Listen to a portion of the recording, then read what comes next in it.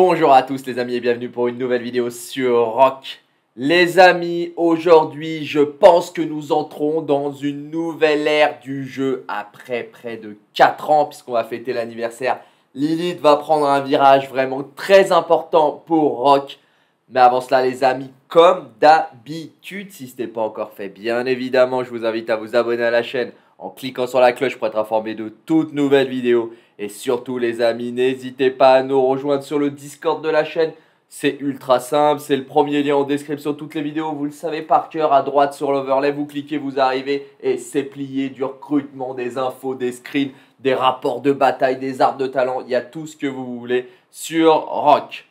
Les amis, aujourd'hui, on a tous reçu au moment du reboot le pop du nouvel event, comme annoncé, les inscriptions pour ce qu'ils ont appelé le Grand Prix d'anniversaire. Et vous ne vous en rendez peut-être pas compte, vous n'avez peut-être pas fait attention, mais ça va changer beaucoup de choses. Et en plus, je vais vous apporter des infos dont vous n'avez pas la connaissance probablement, même c'est quasi sûr, puisque ça se fait en sous-marin tranquillement. On a donc ce Grand Prix d'anniversaire qui, là, Lilith a vraiment fait les choses en grand et on voit vraiment que ça devient l'un des leaders mondiaux du jeu vidéo pas qu'avec Rock, hein. on le voit avec leur nouveau jeu, hein. on l'a vu avec Call of Dragons encore cette semaine, on l'a vu avec Dislight, hein. on le voit avec euh, Arc of Arena, je crois que c'est ça euh, le nom de cette FK Arena, plutôt pas Arc, euh, FK Arena. Et là, pour leur anniversaire, ils nous ont sorti des trucs de dingue et ça met en place les dispositions pour le futur très proche de Rock, j'en suis sûr, surtout avec les autres infos que, que je vais vous apporter. Regardons donc le Grand Prix d'anniversaire qui vient de Pop. C'est une dinguerie. Alors croyez-moi, hein, je suis souvent très critique, mais là, Lilith n'a pas rigolé. C'est la première fois que je vois un truc comme cela dans Rock. Grand Prix d'anniversaire, unissez-vous pour la gloire, faites équipe avec 35 joueurs, inscription ouverte. Vous allez aller voir les règles, tout est tellement bien fait. On va pas perdre de temps. Hein. A, les dates sont celles que je vous ai annoncées. Hein. Tout se déroule au mois de septembre. Je vous ai donné toutes les dates de, des matchs. Elles sont sur la section annonce de mon Discord. Vous avez l'heure même des matchs puisque j'avais déjà toutes les infos et je vais vous expliquer pourquoi. On va aller tout de suite sur inscription. Lilith a totalement craqué, mais de manière positive. Déjà, on voit, on a un onglet connexion ça veut dire qu'on peut se connecter avec son ID joueur. On reçoit immédiatement un, email in-game hein, quand euh, on se connecte. Je l'ai testé, ça marche très bien. On reçoit un mot de passe et là, on peut se connecter. On arrive donc sur une page qui est très bien faite et regardez l'URL de cette page esport-rock.lilith.com esport-rock. Là, il n'y a aucun doute il n'y a aucune raison pour avoir cette URL, excepté si Lilith veut mettre en place un système de ligue permanente pour faire de l'e-sport comme les plus grands jeux. C'est sûr, je n'ai aucun doute par rapport à ça. Surtout quand vous allez écouter les règles et voir. C'est la première fois que, depuis la création de Lilith et que je suis toutes les vidéos, que Lilith nous sort une vidéo dédiée et surtout traduite dans toutes les langues. Regardez, c'est ça. On va se mettre en full screen. Regardez, cher gouverneur, bienvenue dans Rise Kingdom. Tout est en français. Les voix comme les sous-titres. Ils ont plus, plus, grand soin de le faire. On va la regarder euh, deux fois cette vidéo pour être bien sûr de ne rater aucune petite info. Si j'en rate, n'hésitez pas à me mettre en commentaire. Parfois, il y a des petits messages. Donc, ils nous disent, on s'inscrit. Regardez, je vais mettre des pauses. On s'inscrit sur cette période-là du 8-21 au 8-26. Donc on a 5 jours pour s'inscrire, à peine 6 jours pour s'inscrire. On est confirmé du 8-27 au 9 septembre, au 1er septembre, pardon. Ce qui appelle confirmé, c'est qu'on, comme ils le disent, hein, on est contacté par du staff de Lilith. Ils vont prendre qui? Ils vont prendre les 16 équipes les plus puissantes qui se sont inscrites. Alors oui, ça a la puissance, il faut bien les départager. C'est dommage que la puissance fait pas tout. On l'a vu dans les paris de la Ligue. Hein. Des alliances moins puissances arrivent à gagner. Et il y a par la suite une phase éliminatoire qui du 16 septembre au 21 septembre et après les phases finales. On continue donc la vidéo, on a la, enfin l'éliminatoire, les phases finales, ouais, c'est du 16 au 30 et le 30 la finale. Les joueurs peuvent constituer des équipes de 30 à 35 joueurs avec 5 remplaçants et s'inscrire sur le, site internet eSport. Ça c'est une dinguerie. Et surtout, regardez, quand on crée son équipe, on a un code et ce code vous le donnez aux autres joueurs et ils vont pouvoir également s'inscrire dans votre équipe.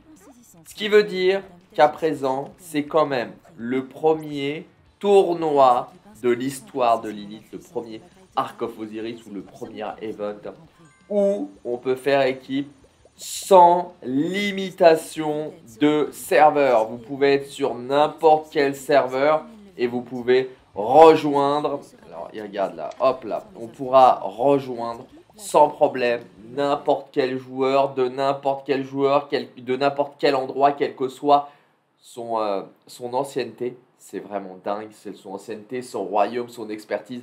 Tout le monde va pouvoir participer. Franchement, je trouve que c'est dingue.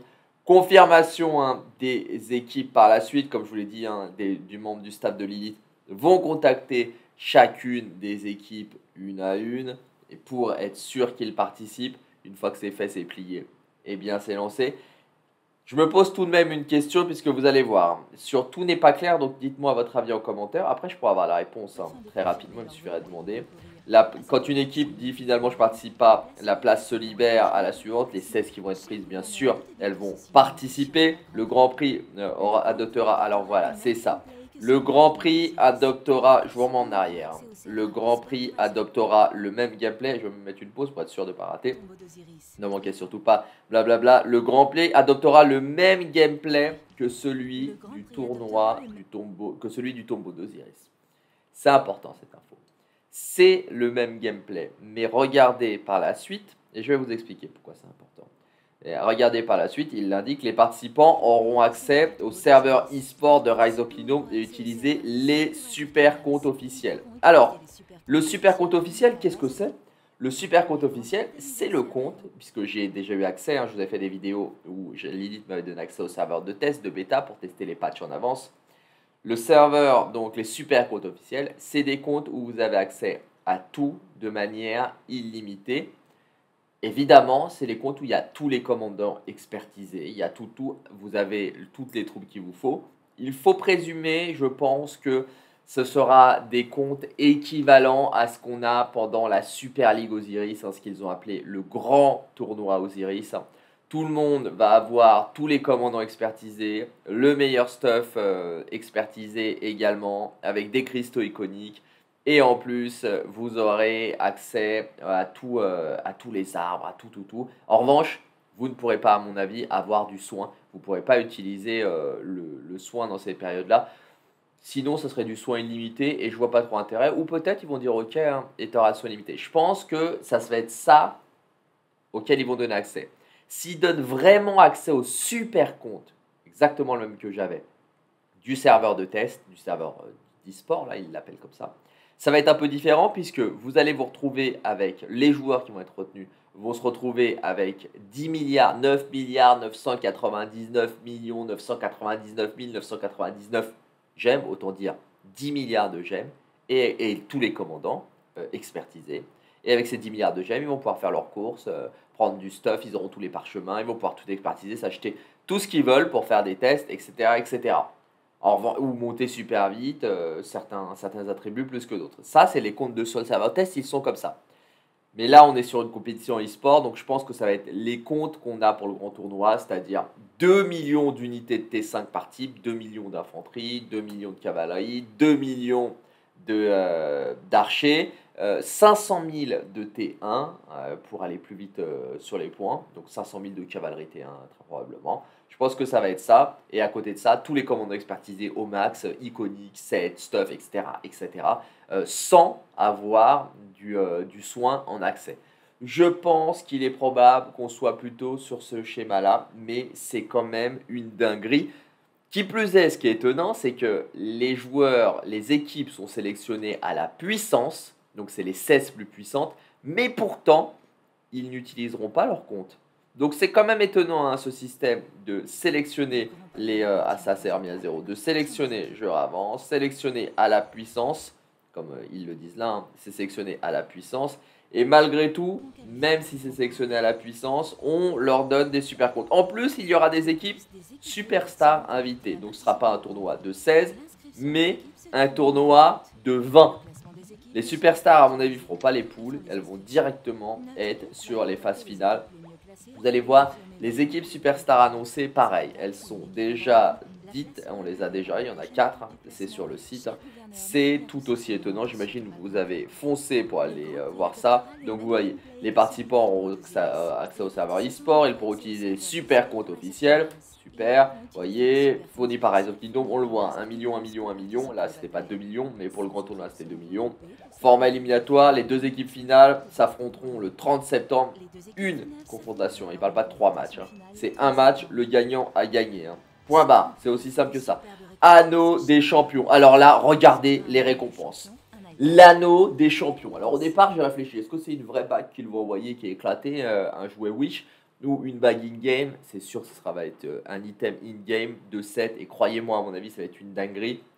Un iPad Pro. Les mecs donnent un iPad Pro. Alors, quelle version? Évidemment, la 2020, la dernière, Sachant qu'il y a des nouveaux iPads qui sortent en fin d'année, mais ils ne les ont pas encore. Donc, ils vont donner un iPad Pro, la 2020, ils vont donner quelle version? La 11 pouces ou la 13 pouces? La 18 ou la 12.8, je crois que c'est ça, exactement, ou 17 et, et 12.8. Je ne sais pas, mais en tout cas, c'est l'un des meilleurs devices pour faire tourner le jeu. Ils rigolent pas, hein. là c'est du beau prix, clairement. Évidemment, c'est pour les gagnants, ils vont donner des récompenses en jeu, des sculptures en or. Les mecs, ils ont pas besoin de sculptures en or, mais ils vont donner des accélérateurs les autres auront des cartes cadeaux, c'est listé par la suite, hein. des accélérateurs, etc., etc.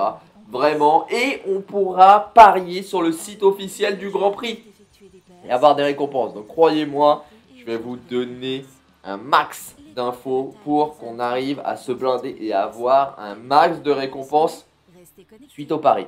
Donc on aura les paris de la Ligue Osiris, les standards, saison 6 pour cette fin d'année, mais aussi les paris, les pronos sur cette nouvelle ligue d'e-sport, j'en suis sûr. Ça va, si ça cartonne, ça va rester de manière définitive.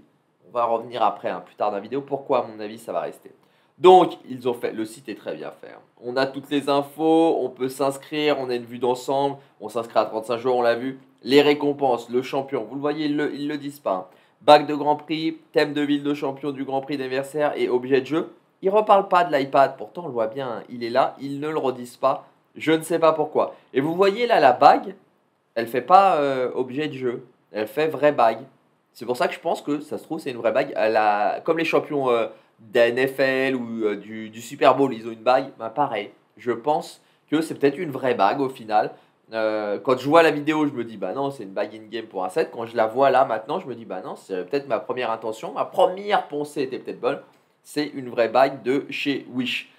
Les, pour les seconds, bah, c'est tout pareil, mais sans la bague et sans l'iPad, donc c'est quand même moins bien, mais ils auront le petit truc Lego, euh, Lego du, temple.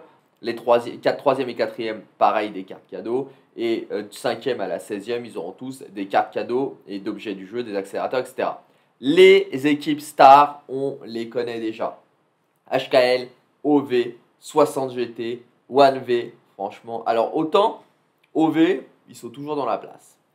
Mais ils sont plus euh, au niveau où ils étaient en termes de Lego Osiris. Hein. Maintenant, quand même, leur niveau n'a pas bougé, mais je pense que ceux des autres ont grandement augmenté. Ils n'ont plus l'avantage stratégique qu'ils avaient avant. La preuve, ils ont gagné que les deux premières et depuis, ils ont que perdu euh, les trois saisons suivantes. Les 60 GT, c'est superstar, ça va être les ultra favoris. Les 1V, ils sont ultra forts aussi. Les HKL, c'est là que je m'interroge. Est-ce que les HKL, alors les HKL existent toujours, mais est-ce que les HKL sont au niveau qu'ils étaient par le passé? Est-ce qu'ils ont bougé ou pas? Il manque quand même hein, les JWM. Bon, les JWM n'existent plus, mais donc c'est pour ça qu'il les manque. Mais les HKL, j'ai des doutes sur est-ce qu'ils ont toujours le niveau qu'ils avaient avant Parce qu'on n'entend plus trop parler hein, des, des. En tout cas, moi, je n'en entends plus trop parler. Ils le disent, la puissance d'équipe, c'est celle qui sera à 23h59 minutes UTC, donc 2h du mat pour nous, le 26-08. Et il y a déjà des équipes inscrites. Si vous voulez voir la liste intégrale de toutes les équipes inscrites, il suffit de mettre voir toutes les équipes et de vous connecter. Là, évidemment, les équipes qui sont inscrites, hein, c'est des mecs qui sont inscrits à l'arrache, ils viennent de créer des teams. Et la puissance, surtout, pourquoi elle est si faible? Sûrement car ces équipes n'ont pas encore tous leurs joueurs d'inscrits, tout simplement. Puisque une fois que votre équipe, votre leader s'est inscrit, il vous donne le code, vous, vous allez vous inscrire, vous mettez ce code et vous rejoignez l'équipe et ça fait monter la puissance de l'équipe. Évidemment, pour avoir une puissance maximum, hein, il faut avoir 30 joueurs. Vous allez dire, ah ben, je vais en mettre 35. Ah, je pense que les 5, c'est des remplaçants. Et donc les 5 puissances les plus basses sont évidemment, ce serait logique, hein, pas prises en compte dans cette puissance. Alors, au-delà du terme e-sport-rock, pourquoi donc, à mon avis, ça lance l'e-sport sur Rock 1 Les Asiates sont fans absolus de l'e-sport, donc ça serait logique que Rock essaye de percer là-dedans. Ça leur permettrait d'avoir des sponsors, de faire des compétitions mondiales et de se faire de plus en plus connaître, comme tous les grands jeux d'e-sport, hein. League of Legends, Fortnite, etc. Ensuite, sur mobile, il y a très peu de ligues d'e-sport, et ça serait de, du moins des ligues très connues d'e-sport, à ma connaissance. Euh, du coup, ça serait quand même un secteur où Lilith pourrait percer tranquillement. Pour finir, Lilith est en train de structurer, je le sais en tant que content créateur français, Lilith est en train de structurer la communauté. J'ai des échanges réguliers avec eux sur le sujet ces derniers temps. C'est pour ça que je vous ai dit que j'étais informé de ce qu'ils allaient faire euh, pour l'anniversaire, mais justement, je n'ai pas le droit, je n'avais pas le droit d'en parler avant que ça arrive. Hein. Donc, je le savais qu'elle allait avoir cet event, je connaissais bien évidemment les dates, je connaissais à peu près tout ou presque, mais je ne savais pas par exemple pour les récompenses, hein, euh, puisqu'ils sont en train d'échanger beaucoup avec tous les créateurs de contenu euh, avec qui ils ont eu l'habitude de travailler par le passé sur ce grand tournoi et de ce que j'en vois, de ce qu'ils m'en disent et de ce qu'ils m'en disent pas aussi. Ça laisse penser qu'il va s'installer durablement une ligue, voire plusieurs ligues d'e-sport avec des tournois réguliers comme on l'a pour la Ligue des Champions, comme on l'a pour tout, avec des récompenses, mais pas tout le temps des récompenses comme euh, on en a là, qui sont énormes. Mais s'ils arrivent à drainer des sponsors, il y aura peut-être ce qu'on appelle des cash prizes, hein, donc euh, des prix euh, en numéraire, en thunes. On vous donne direct un chèque de 1000, 2000, 3000, 5000, 10 000 dollars de récompenses pour les meilleurs et non plus des rewards. Là, quand même, les rewards, il y en a, il y en a pour un équivalent de 2000 balles. Donc, c'est pas mal du tout. Euh, voilà pour ce grand tournoi, ce grand prix. On va voir si je me trompe ou pas. Mais franchement, là, pour le coup, j'ai énormément d'infos outre, outre l'URL esport-rock.lilith.com qui nous laisse penser qu'on va aller sur du très lourd qu'on va se retrouver activement sur une compétition. Donc il peut être bon de déjà constituer des équipes. Je suis curieux de voir les équipes qui vont se faire en trans-serveur. Et parce que par exemple les 60 GT vont rester contre eux, le 556 pareil, les plus gros serveurs vont, vont rester contre eux, puisqu'ils ont l'habitude de jouer entre eux. Mais peut-être on va avoir une ou deux pièces rapportées d'un autre serveur, hein, des superstars, des super baleines ou des joueurs super techniques qui vont pouvoir intégrer des grosses équipes comme celle des OV ou comme celle d'autres royaumes. Franchement, ça va être à suivre, ça va être très lourd. Je vous ferai les pronostics, je vous ferai même plus que ça, vous verrez. Euh, mais pour le moment, je ne peux toujours pas vous en parler. Du très lourd pour cette fin de semaine. La semaine prochaine, tout va s'accélérer. Ça va être la rentrée ou presque la rentrée. Donc on aura évidemment beaucoup plus d'infos. Si vous avez des questions ou des infos, des choses qui nous auraient échappé, qui m'auraient échappé, n'hésitez pas à les mettre en commentaire ou à venir sur le Discord pour échanger avec moi et le reste de la communauté. Les amis, comme d'habitude, si cette vidéo vous a plu, n'hésitez pas à lâcher un colossal pouce bleu. Vous savez les amis, ça me fait vraiment très plaisir et ça aide énormément le développement de la chaîne. Si ce n'est pas encore fait, qu'attendez-vous Qu'attendez-vous pour vous abonner à la chaîne en cliquant sur la cloche pour être informé de toutes nouvelles vidéos Je vous souhaite un bon jeu à tous, un excellent week-end à tous les amis. Prenez soin de vous, faites bien attention à vous et je vous dis à plus sur Rock.